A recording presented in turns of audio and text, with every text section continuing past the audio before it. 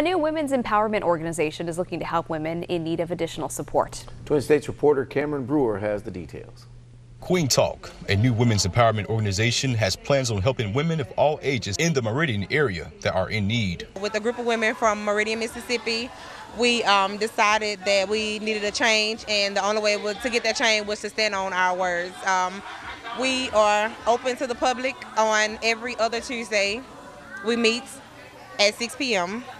for any all women. This was an idea they came up with a way for women to come together um, as a unit to talk about issues that we go through on a daily basis and um, a way for women to have a way to vent. Domestic violence relief is one of the services the organization provides. That was just one of our topics um, on one of our meetings, but we are working with the Care Lodge in Meridian, Mississippi to bring in women that actually need, the better women. We don't have a, a select amount on how many we're going to help.